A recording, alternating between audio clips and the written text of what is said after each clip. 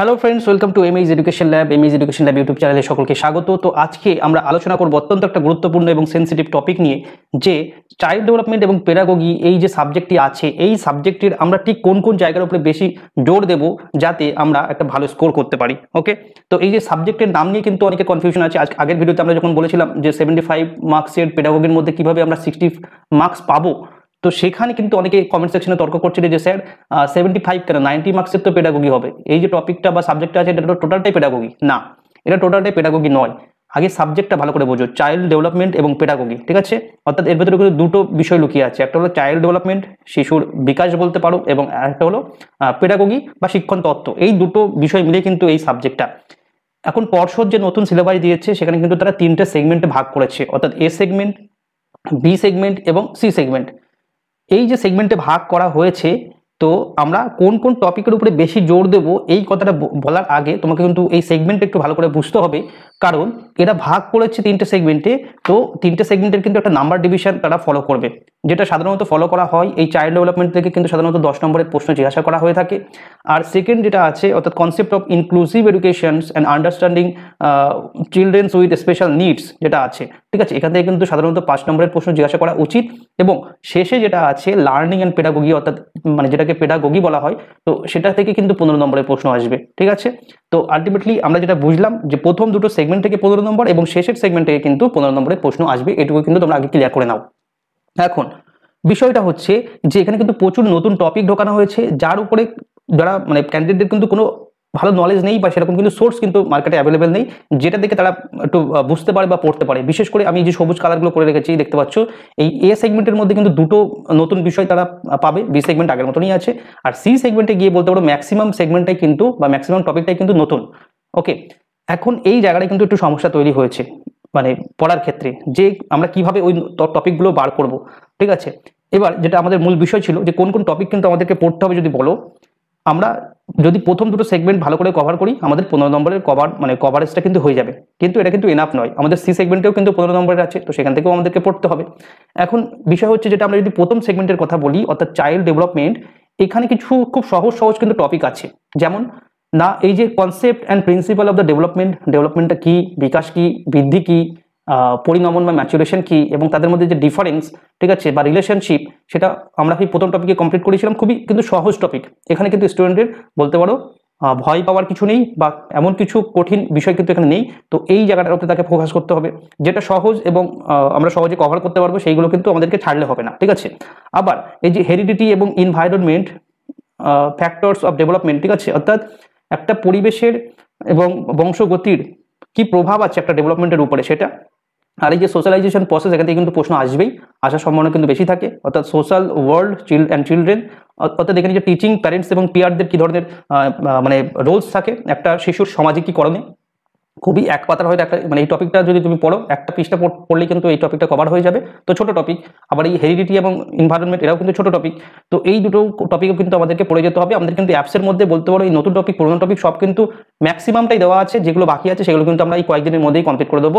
আমাদের যেটা self study গ্রুপের মধ্যে, ঠিক আছে? সেখানকার যে প্রচুর স্টুডেন্ট আছে, তারা কিন্তু এইভাবে হেল্প পাচ্ছ। যারা এখনও যুক্ত হবনি তারা কিন্তু ভিডিও ডিসক্রিপশন ফলো করে যুক্ত হয়ে যেতে পারো। তোমাদের কিন্তু প্রচুর উপকার আসবে, ঠিক আছে? আমি এই নতুন টপিকটা পরে নিয়ে আসছি। এবার দেখো, এই যে physical social emotional and language and cognitive development বিশেষ করে যে পিয়াজে কোহলবার্গ ঠিক আছে ভাইগটস কি এটা কিন্তু অত্যন্ত বলতে পারো কনসেপচুয়াল এবং একটু কঠিন, যদি আমি বলি, সাধারণ অর্থে, সেরকম। কিন্তু আমার যে ক্লাসটা করা আছে, সেটা পড়ে কিন্তু তোমরা এখান থেকে হেল্প পেতে পারো, কারণ এই যে পিয়াজের কি নীতি ছিল, কোহলবার্গের কি নীতি ছিল এবং ভাইগটসকির কি কি নীতি ছিল এই ধরনের মানে বিভিন্ন রকম ডেভেলপমেন্টের ক্ষেত্রে সেটা কিন্তু খুব একটা কঠিন মনে হবে না। তুমি যদি সেই ভিডিওটি দেখো, ঠিক আছে?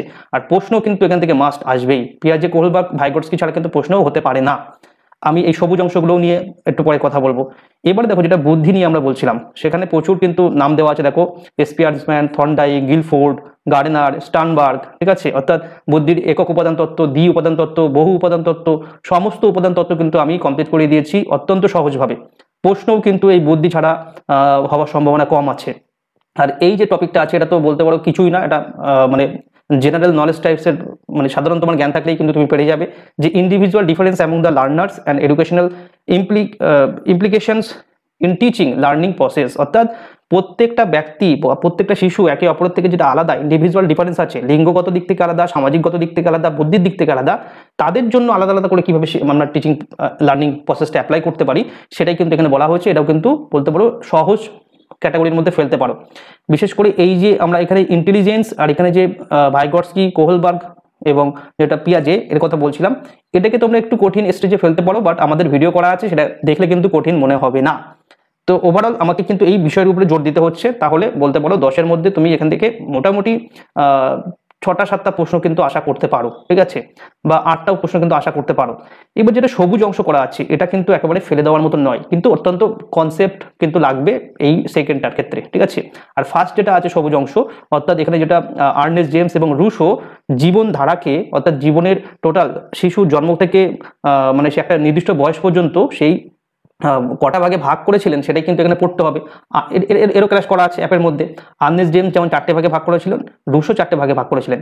এবং সেই ভাগগুলো অর্থাৎ শৈশবকাল, কৈশোরকাল প্রাক কৈশোরকাল এরকম যে ভাগ করেছিলেন, তার মানে স্টেজগুলো পড়তে হবে, কোন স্টেজকে কি নাম দেওয়া হয়েছিল এবং সেই স্টেজে ফিজিক্যাল সাইকো সোসিওলজিক্যাল বা সাইকোলজিক্যাল এবং সোশ্যাল ডেভেলপমেন্ট কীভাবে হয়েছিল সেটাও কিন্তু পড়তে হবে। এটা বলতে পারো কনসেপ্টের কিছু নেই ইজি স্টেট ফরওয়ার্ড একটা টপিক তো এটাকে ইজির মধ্যে তুমি ফেলো, ঠিক আছে? তো এই টপিকগুলো কিন্তু আমরা এখানে জানলাম। এবার যেটা আমাদের এখানে সবুজ করা আছে পার্সোনালিটি বা ব্যক্তিত্ব, এটা বলতে পারো এই সেগমেন্টের মধ্যে সব থেকে কঠিন বিষয় বলতে পারো। কারণ তুমি যখন ফ্রয়েড আর এডিকশন পড়বে, তখনই কিন্তু তোমাকে প্রচুর কনসেপ্টের দরকার হবে। ফ্রয়েড যেটা শিশুর মানে বিকাশের সাথে, তার সাথে একটা যে মানে তার যৌনতার কীভাবে ডেভেলপমেন্ট হচ্ছে ঠিক আছে? বা তার সেক্সুয়াল কি ডেভেলপমেন্ট হচ্ছে, তার সঙ্গে একটা তুলনা করেছিলেন। আবার এডিকশান তার যে সামাজিক, ঠিক আছে? মনোসামাজিক কীভাবে বিকাশ ঘটছে, তার কিন্তু একটা তুলনা করেছিলেন। এখানে আটটা স্টেজ কিন্তু পড়তে হয়। আর এর ভিতরে কিন্তু প্রচুর কনসেপ্টের জায়গা আছে। অর্থাৎ আমাদের মনের তিনটে উপাদান আছে। আমি ভালো করে বুঝিয়ে দিয়েছিলাম। তো সেই ভিডিও দেখলেই তো কমপ্লিট হয়ে যাবে। কিন্তু এটা কঠিন, ঠিক আছে? ভিডিও দেখলে সহজ মনে হলেও এটা কিন্তু কঠিন টপিক এবং ফ্রয়েডের যে সমস্ত স্টেজগুলো ছিল, ঠিক আছে? কোনটা তোমরা বলতে পারো সেই oral stage anal stage phallic stage এইগুলো সেখান থেকে এই টপিকগুলো থেকে প্রশ্ন কিন্তু মানে যারা প্রশ্ন সেট করবেন, এই টপিকটা কিন্তু বাদ দেওয়ার তাদের কোনো সাহস থাকবে না। প্রশ্ন কিন্তু মানে দিতে পারে। হয়তো আমার এই ইন্ডিভিজুয়াল ডিফারেন্স থেকে প্রশ্ন নাও দিতে পারে বাট এই পোর্শন থেকে কিন্তু প্রশ্ন তারা সেট করার সময় মানে না দিলে কিন্তু তারা ঠিক স্যাটিসফাইড হবে না। ঠিক আছে? তো ওভারঅল আমার এই এ সেগমেন্টের ক্ষেত্রে আমরা যেটা বলব, দেখো, কিছু কিছু এখানে কঠিন টপিক আছে, কিছু কিছু মানে সহজ টপিক আছে। সহজ টপিকগুলো তুমি আগে করে নাও। যেমন এই টপিক এই টপিক এই টপিক এই টপিক এগুলো সহজ। ঠিক আছে?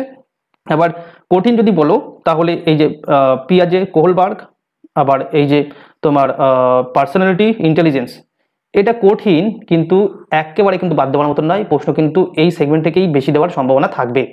তো আমি যেগুলো সহজ, আমি জানি, সেগুলো আমি কুইকলি একবার কমপ্লিট করে নিলাম। আর এর উপরে কিন্তু আমাকে স্পেশাল ফোকাস দিতে হবে, ঠিক আছে? স্পেশাল ফোকাস কিন্তু দিতে হবে, কারণ এইগুলো ছাড়া কিন্তু প্রশ্ন হবে না। তো আমাকে ওভারঅল মোটামুটি সমস্ত কিছুই এখানে পড়তে হচ্ছে, কোনগুলোর উপরে আমি আগে পড়ব, পরে পড়ব, কীভাবে পড়ব সেটা কিন্তু আমি এখানে বলে দিলাম।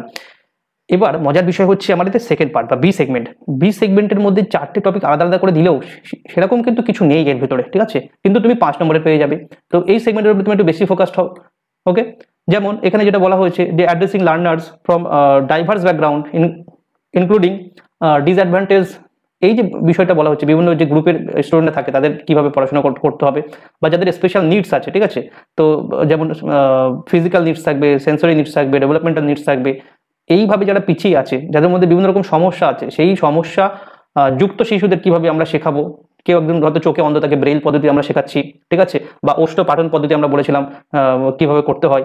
তো সেইগুলো বা এখানে যে জেন্ডার আছে সোশ্যাল কন্ট্রাস্ট অর্থাৎ লিঙ্গকে যে সামাজিক একটা বিষয় বলা হয়েছে এবং সেখানে জেন্ডারের কী কী রোলস থাকছে জেন্ডার বায়াস কি এডুকেশনের তার প্র্যাকটিস কি, এর ক্লাস এটা কিন্তু খুব বলতে পারো সহজ একটা বিষয়, ঠিক আছে? এখানে কনসেপ্টের বেশি দরকার হয় না, অথচ এই পোর্শনটা করলে কিন্তু তুমি পাঁচের মধ্যে পাঁচ পেয়েই যেতে পারো। তো এই বিষয়টার উপরে তুমি স্পেশাল বেশি ফোকাস করো, এটা কিন্তু একদম ছেড়ো না, কারণ এই জায়গাটা থেকেই তোমার সলিড নাম্বারটা চলে আসবে। ঠিক আছে? কোনো কনসেপ্টের জায়গা নেই ডাইরেক্ট তুমি সেই মুখস্থ করে দেবে মানে হয়ে যাবে বিষয়টা। এবার তুমি এই দুটো সেগমেন্ট করে পনেরো নম্বর পাবে, আর এখানে অনলি পেডাগোগিক সেগমেন্টটা করলে কিন্তু পনেরো নম্বর পাবে। এটা আমার মধ্যে সব থেকে স্কোরিং কিন্তু সব থেকে বলতে পারো এই দুটো সেগমেন্টের মধ্যে সব থেকে কঠিনও বটে, ঠিক আছে? এটাকে তুমি কঠিন সেগমেন্টের মধ্যে ফেলবে। এখানে প্রচুর কনসেপ্টের কিন্তু দরকার হবে। কনসেপ্ট ছাড়া কিন্তু এই পোর্শনটা কভার হবে না। অর্থাৎ তুমি আগের এই পোর্শনটা এমসিকিউ দিয়েও কভার করে দিতে পারো। এই পোর্শনের একটা সেগমেন্ট এমসিকিউ দিয়ে তুমি কভার করে দিতে পারো। বাট এই যে পেডাগোগির পোর্শনটা এখানে কিন্তু এমসিকিউ দিয়ে কভার করা কোনো মতেই পসিবল হবে না। একটা লেভেল পর্যন্ত পসিবল হবে বাট তারপরে কিন্তু পসিবল হবে না। এখানেই কিন্তু গেম চেঞ্জিং হয়ে যাবে বিষয়টা। অর্থাৎ এই সেগমেন্টের উপরে যে রাজ করবে, সেই বলতে পারো টেটের কিন্তু মানে দৌড়ে এগিয়ে থাকবে, সোজা কথা।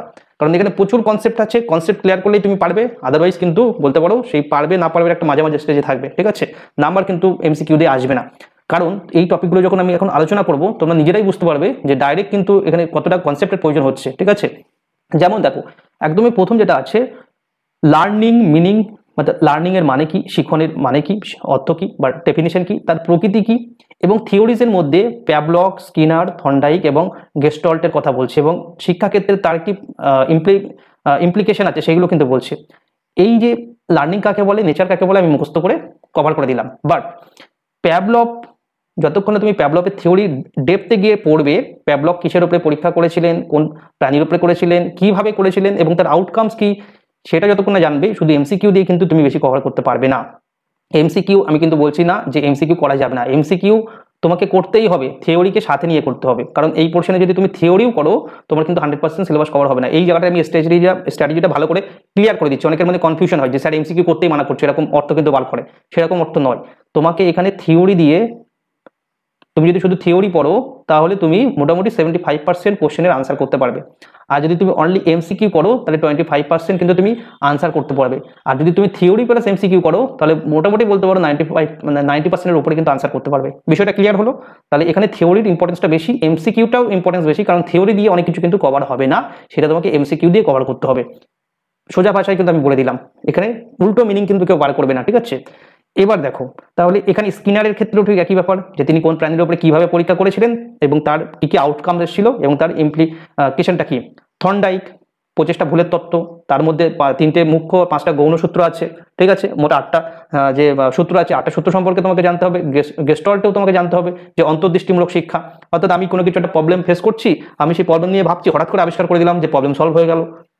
বিষয়টা কিন্তু ইজি বাট তোমাকে কনসেপ্টটা ক্লিয়ার করতে হবে উইদাউট কনসেপ্ট এমসিকিউ কিন্তু তোমাকে কভার করতে পারবে না। তো এই গেল।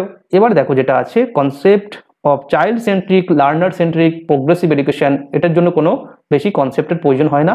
ডাইরেক্ট কিন্তু এখান থেকে ইনফরমেশন মুখস্থ করলে হয়ে যায় এই টপিকটার ক্ষেত্রে। কারণ এখানে বলবে তোমার শিশুকেন্দ্রিক শিক্ষা কি? শিশুকেন্দ্রিক শিক্ষার বৈশিষ্ট্য কি? আধুনিক শিক্ষা এবং শিশুকেন্দ্রিক শিক্ষার মধ্যে পার্থক্য কি? খুব সহজ সহজ কথা লেখা আছে, শিশুকেন্দ্রিক শিক্ষার জন্য কি কি শিক্ষা ব্যবস্থা গড়ে উঠেছে। তো এই জায়গাটা কিন্তু তুমি মুখস্থ করে বেরিয়ে যেতে পারো, ঠিক আছে? এবার দেখো যে সবুজ অংশগুলো শুরু হচ্ছে, এখানেই হলো আসল খেলা। কারণ teaching meaning nature phases of teaching level of teaching প্রচুর কনসেপ্টের কিন্তু দরকার হবে। বিশেষ করে এই যে ফেজেস অফ টিচিং এবং লেভেল অফ টিচিং এখানে গিয়ে কিন্তু তুমি কনসেপ্ট না ক্লিয়ার করলে উত্তর করতে পারবে না, সব কিন্তু তোমার মাথার উপর দিয়ে যাবে। ফেজেস অফ টিচিং যেখানে আমরা বলব যে একটা প্রি ফেজ থাকে, একটা ইন্টারেক্টিভ ফেজ থাকে একটা পোস্ট অ্যাক্টিভ ফেজ থাকে। তো সেটা সুন্দর করে আমি বুঝিয়ে দিয়েছি কনসেপ্ট পাঁচ মিনিটে কিন্তু কনসেপ্ট ক্লিয়ার হয়ে যেতে পারে, ঠিক আছে? লেভেল অফ টিচিং অর্থাৎ memory level teaching understanding level teaching আর উপরে আছে রিফ্লেকশন লেভেল টিচিং তো তার মধ্যে যদি তুমি ডিফারেন্স না করতে পারো, তাহলে প্রশ্ন একশো টাইম সিকিউ করো, তাও কিন্তু তুমি পারবে না। এখানে যে গঠনগত মতবাদ তার নেচার প্রিন্সিপাল আছে, এবং এই যে ফাইভ ই মডেল আছে, পাঁচটা ই ঠিক আছে? শিক্ষা দানের ক্ষেত্রে পাঁচটা ই কোনটা আগে, কোনটা পরে, এবং পাঁচটা ইর মধ্যে কোনটা পড়ছে কোনটা পড়ছে না। কনসেপ্ট ক্লিয়ার করলে যদি ট্রিক্স যেন বেরিয়ে যেতে পারবে না হলে কিন্তু পারবে না। মোটিভেশন অ্যান্ড লার্নিং দেখো মোটিভেশনের সম্পর্কে তুমি যেটা জেনারেল পয়েন্টগুলো থাকে মোটিভেশন কাকে বলে, শিক্ষার ক্ষেত্রে তার কি ইমপ্লি মানে অ্যাপ্লাই আছে, সেটা তুমি বেরিয়ে যেতে পারো। বাট এই যে ম্যাসলো থিওরি আছে, সেটা যদি তুমি কনসেপ্ট ক্লিয়ার না করো, তাহলে বেরিয়ে যেতে পারবে না। ওকে আবার দেখো, এই যে মেথড অফ টিচিং আছে, ঠিক আছে? যেমন লেকচার মেথড আছে ডেমনস্ট্রেশন মেথড আছে ডিসকাশন মেথড আছে, আবার ডিসকভারি ঠিক আছে? এই যে বিভিন্ন রকম মেথডসগুলো আছে, তো সেই মেথডসগুলো কিন্তু তোমাকে মানে এমসিকিউ করে তুমি কটা করবে? একটা মিনিমাম তোমাকে কনসেপ্ট ক্লিয়ার করতে হবে। ব্লুমস ট্যাক্সোনমি যার উপরে কিন্তু আমাদের বলতে পারো এক ঘণ্টার ক্লাস দেওয়া আছে সেই একটা হায়ার কি মেনটেন করবে, এরকম স্তর থাকবে, কোন স্তরকে, কোন স্তরের মধ্যে কি আছে, সেটা জানলেই তুমি এটা কভার করতে পারবে আদারওয়াইজ কভার করতে পারবে না। মুখস্থ করে কিন্তু তুমি লিঙ্ক খুঁজে পাবে না, ঠিক আছে? এই যে মাইক্রো টিচিং এটাও ঠিক একই বিষয়। আর এখানে যেটা মানে অ্যাসেসমেন্ট এভলিউশন সামেটিক ফর্মেটিভ এগুলো আছে, এগুলো একটা বেসিক লেভেলের আন্ডারস্ট্যান্ডিং তোমরা করলে কিন্তু বেরিয়ে যেতে পারো, ঠিক আছে? এটা কিন্তু আমাদের আগে সিলেবাসেও ছিল। এবং এখানে কোশ্চেন কীভাবে তৈরি করা হয় তার একটা বিষয়। তো এখানের স্ট্র্যাটেজিটা আমি তোমাকে একবার সহজ করে বলে দিই, ঠিক আছে? চলো এটা একবার হালকা করে ইরেজ করে নিই, তারপর কিন্তু আমি বিষয়টা বলছি। তাহলে এই যে পোর্শনটা আছে সি নম্বর পার্ট আছে সি নম্বর পার্টটা কি? না টোটাল হলো পেডাগোগির বিষয়। তো এখানে বলতে পারো, অত্যন্ত স্কোরিং একটা বিষয়, কারণ এটা টোটালি কনসেপচুয়াল অর্থাৎ কনসেপ্ট ক্লিয়ার করলে তুমি ম্যাক্সিমাম উত্তর করতে পারবে। সব কিন্তু মুখস্থ করার প্রয়োজন হচ্ছে না। এখানে কিন্তু অনেকটা কনসেপচুয়াল আসছে, ঠিক আছে? তো এই জায়গাটাই, বিষয়টা হচ্ছে এই জায়গাটা এবার স্টুডেন্টরা কি করতে পারে? দেখো, প্রথম কথা হলো, অনেক কিছু নতুন টপিক কিন্তু এখানে ঢুকে আছে তোমরা এই বি সেগমেন্টের যেটা পাঁচটা কোশ্চেন বলছিলাম, এখানে সেটা একটু আগে করে নেওয়ার করে নেওয়ার চেষ্টা করো, কারণ- এখান থেকে স্টেট ফরওয়ার্ড প্রশ্ন আসবে কনসেপ্টের কিছু জায়গা নেই। এখান থেকেও যেগুলো ইজি বলছিলাম, সেগুলো কিন্তু তুমি মানে এই কয়েকদিনের মধ্যেই কিন্তু কমপ্লিট করে নাও, ঠিক আছে? শেষের দিকে নিয়ে যেও না। আর এখান থেকে যেটা মেন প্রশ্ন আসবে এবং একটু কনসেপচুয়াল সেটা তারপরে শুরু করো এবং সলিডভাবে শুরু করো, যেন একবার পড়লেই বেরিয়ে যেতে পারো। আর এখানে তুমি ওই সহজ সহজ বিষয়গুলো করার ঝামেলাটা মানে মিটিয়ে এই জায়গাটার উপরে কিন্তু একটু ফোকাস করতে হবে। এর মধ্যে তুমি এই যে চাইল্ড সেন্ট্রিক এটা তো অলরেডি হয়ে যাবে তোমার। আর এখানে যে ফর্মেটিক সামেটিক এটাও হয়ে যাবে। বাকি যেগুলো আছে কনসেপ্টের জায়গা, সেই কনসেপ্ট কিন্তু পরীক্ষা যত কাছে আসবে, তখন কিন্তু কনসেপ্ট ক্লিয়ার করতে পারবে না, তখন কিন্তু অন্যান্য সাবজেক্টেরও চাপ থাকবে। প্যাবলপ স্টিনার থন্ডাইক গেস্টল্ড এদের একদম মেন থিওরি পোর্শনটা মেন পোর্শনটা তাদের কি মতামত? জিস্ট করে নাও নোট ডাউন করো। দরকার হলে আমার যে নোটস আছে সেটা যদি তোমার বড় মনে হয়, নিজের থেকে কিন্তু নোটস করো, ঠিক আছে? এক একটা, এক একজনের নাম লেখো, তার এক- একেবারে মেন ফিচার্সগুলো কিন্তু তুমি লিখে নাও ওকে এবং তারপরে দেখো টিচিং এতদূর পর্যন্ত তুমি পারবে মিনিং এবং নেচার বাট এখানে যেটা আছে ফেজেস ফেজেস এবং লেভেল এর তিনটে লেভেল তিনটে ফেজেস হয়, সেটা কিন্তু একটা চার্ট বানিয়ে নাও। যে টিচিংয়ের ফেজেস হলো এই তিনটে এবং এর লেভেল হলো এই তিনটে। এই ফেজের মধ্যে এই জিনিস আছে, এই লেভেলের মধ্যে এই জিনিস আছে। একদম টু দি পয়েন্ট পয়েন্ট মানে লিখে নাও, ঠিক আছে? থিওরির ক্ষেত্রে বলছি, যদি হাতের সময় কম থাকে। নাহলে আমাদের নোটসটা একটু এলাবোরেটলি করা আছে, সেটা পড়ে নিতে পারো। তারপরেও যদি মনে হয় যে টাইম পাবে না, একদম টু দি পয়েন্ট কিন্তু নোট ডাউন করো ওকে ফাইভ ই মডেল পাঁচটা ই লেখো, কার কি মিনিং হয় লেখো, এবং সেটা কার পরে কোনটা আসছে লিখে নাও। ওকে এখান থেকে হয়তো বেশি প্রশ্ন দেবে না বাট ফাইভ ই মডেলের উপরে কিন্তু প্রশ্ন দিতে পারে, এই টোটাল টপিকের মধ্যে। মোটিভেশন ম্যাসলো থিওরি একদম লেখো ম্যাসলো থিওরির মধ্যে এই কয়েকটা জিনিস বলা হয়েছে মেন মেন পয়েন্ট হলো এই জিনিস। হয়ে গেল? এবং মোটিভেশন যেটা সাইকেল হয়, তার প্রথম স্তর এই, দ্বিতীয় স্তর হয় তৃতীয় স্তর এই একটা আউটলাইন করে নাও। ঠিক আছে? এরকম জিস্ট করলে হয়তো তোমাকে এই টোটাল বিষয়টা যেটা হয়তো চল্লিশ পঞ্চাশ পাতা বা একশো পাতার নোট হবে, তো সেটা তুমি যদি এরকম জিস্ট করে মাইন্ড ম্যাপ করে নাও, তাহলে সেটা কিন্তু এই টপিকগুলো তুমি দশটা থেকে পনেরো পেজের মধ্যে কিন্তু কমপ্লিট করতে পারবে। তার কিন্তু টেকনিক আছে। ঠিক আছে? এবার এই যে মেথডসগুলো টিচিং মেথডসগুলো সেগুলো তুমি একটা টেবিল করে নাও। ঠিক আছে? এরকম টেবিল করে নাও। এখানে লেখো যেটা লেকচার মেথডস এটা ডেমনস্ট্রেশন মেথডস তার ইম্পর্টেন্ট পয়েন্টগুলো কিন্তু এখানে লিখে নাও। সঙ্গে সঙ্গে যেন এক ঝলকেই তুমি সব কিছু রিভিশন দিতে পারো। ওকে ব্লুমস ট্যাক্সোনমি এরকম সে হায়ারকি থাকবে। তো কোন হায়ারকির মধ্যে কি থাকছে, তার বৈশিষ্ট্য কি? একদম একটা পৃষ্ঠার মধ্যে কমপ্লিট করে নাও। ওকে মাইক্রো টিচিংয়েরও ঠিক একই বিষয়। আর অ্যাসেসমেন্টগুলোও ঠিক একই বিষয় এবং এইগুলোও ঠিক একই বিষয়। তো এখান থেকে তোমার কিন্তু যদি বলা হচ্ছে কি বাদ দেবো, কি বাদ দেবো না সেইভাবে কিন্তু বলা যাবে না। কারণ এখানে যেগুলো কনসেপ্টুয়াল বিষয়গুলো আছে, সেগুলোর উপরে তোমাকে আমি একটাই সলিউশন বা একটাই সাজেশন দিতে পারি বা একটাই মানে সাজেস্টিভ কথা বলতে পারি, সেটা হলো এই যে টোটাল কনসেপ্টটাকে তুমি ছোট্ট জায়গায় নিয়ে আসো। একটা পেজের মধ্যে একটা চ্যাপ্টার কীভাবে ছোট্ট করে নিয়ে আসতে হয়, সেটা তো আমি পাঁচশো ইউনিটের নোটের ক্ষেত্রে বুঝিয়ে দিয়েছিলাম। তো এই ওরকম ধরনের একটা ছোটো ছোটো করে নোটস বানাও। তাহলে দেখবে যে টোটাল বিষয়টা তোমার কাছে একদম ছোট্ট মনে হচ্ছে, সহজ মনে হচ্ছে। এবং বাকি তুমি এমসিকিউ প্র্যাকটিস করা কিন্তু শুরু করে দাও স্পেশাল এই এই পোর্শনের উপরে, ঠিক আছে? এমসিকিউ যখনই তুমি প্র্যাকটিস করা শুরু করবে, তখন তোমার যে কনসেপ্ট সেটা কিন্তু আরও স্ট্রং হবে এবং সেখানে অনেক কিছু কিন্তু খামতি থাকবে। শুধু থিওরি পোর্শন পড়ে হয়তো অনেক কিছু ইনফরমেশন মিসিং হয়ে যাবে, সেটা তোমার কভারেজ দেবে কিন্তু এমসিকিউ ঠিক আছে? তো আজকের ভিডিও যেটা মূল বিষয় ছিল যে আমাদের কীভাবে মানে কোন কোন টপিক আমরা বেশি জোর দেবো, সেটা যদি আমি কনক্লুশন লাইন টানি মানে শেষ কথা যদি বলি, তাহলে বলব এই বি সেগমেন্টটা একদম কুইকলি একদম এখান থেকে যেন একটা প্রশ্ন যেন মিস না হয়, পাঁচের মধ্যে যাতে আমরা পাঁচ পাই, ঠিক আছে? আর এ সেগমেন্টের মধ্যে পার্সোনালিটা একটু কনসেপ্টুয়াল আছে সেটা তুমি আস্তে আস্তে বোঝার চেষ্টা করো। বাট বাকি যেগুলো আছে, সেগুলো কিন্তু ইজি আছে। তো এখানেও আমাকে টার্গেট রাখতে হবে যে দশের মধ্যে মোটামুটি সাত, আট এরকম স্কোর করার, ঠিক আছে? আর সব থেকে কঠিন এবং কনসেপচুয়াল আবার পড়লে ইজি এমন একটা সেগমেন্ট যেটা হলো সি সেগমেন্ট পেডাগোগিক সেগমেন্ট সেটা তুমি কনসেপ্ট ক্লিয়ার করো। কনসেপ্টটা কুইকলি একটা জায়গার মধ্যে নিয়ে আসো এবং সেটাকে বারবার তুমি কিন্তু রিভিশন দাও, তাহলে কিন্তু এখানে যে পনেরো আছে, তুমি এখান থেকে টেন প্লাস কিন্তু স্কোর করতে পারবে, ঠিক আছে? এটা কিন্তু কঠিন কাজ নয়। আর তুমি যদি কনসেপ্ট প্রত্যেকটা যে কনসেপ্টের কথা বললাম মিস করে যাও অনলি এমসিকিউ করো, সেক্ষেত্রে তোমার নাম্বার কিন্তু পাঁচ থেকে ছয়ের মধ্যে ঘোরাফেরা করবে, এটা কিন্তু মিলিয়ে নিও, ঠিক আছে? তো ভিডিওর মূল বিষয় কিন্তু এটাই ছিল। ভিডিওটা যদি ভালো লাগে, অবশ্যই একটু লাইক করে দিও এবং বন্ধুদের মধ্যে শেয়ার করে দিও এবং আমাদের যে সাবস্ক্রিপশন যেটা আমাদের চলছে যে কোর্স চলছে, ঠিক আছে? প্রাইমারি টেটের জন্য study group self study group সেখানে যারা যুক্ত হওনি তারা কিন্তু যুক্ত হওয়ার চেষ্টা করো। সেখানে কিন্তু নতুন বা পুরনো সমস্ত সিলেবাসের উপরে যে মানে কনসেপচুয়াল ক্লাস বলো বা সমস্ত সেগমেন্টের উপরে কিন্তু ক্লাস সেখানে দেওয়া হচ্ছে। অলরেডি অনেক কিছু ক্লাস দেওয়া হয়ে গেছে, কিছু ক্লাস বাকি আছে সেটা কিন্তু দেওয়া হয়ে যাবে। তো সেখান থেকে কিন্তু তোমাদের প্রিপারেশনটা আরও ইজি হয়ে যাবে।